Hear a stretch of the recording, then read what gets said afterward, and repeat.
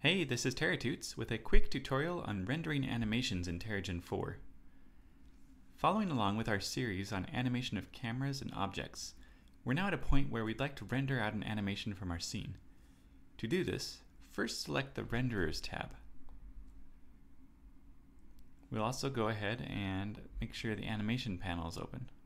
In the animation panel, note the starting and ending frame of your animation. To render the whole animation, we'll need to transfer these numbers to the Sequence Output tab in the left panel here, into the sequence first and last fields. It's important to realize that Terragen doesn't output any kind of video file, so what we'll actually be doing is rendering a series of still frames. We can set the output location and base name for each frame using the Output Image File Name field, which is also under the Sequence Output tab. By default, each frame is named the same name as our Terragen file. Here, I've changed the base name to anim, and it will be appended with the frame number padded to four digits.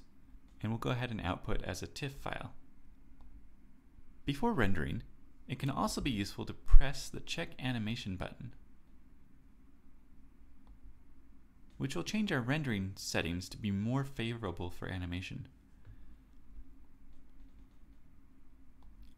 Once that is done, simply click the Render Sequence button, and Terragen will begin rendering our animation frame by frame.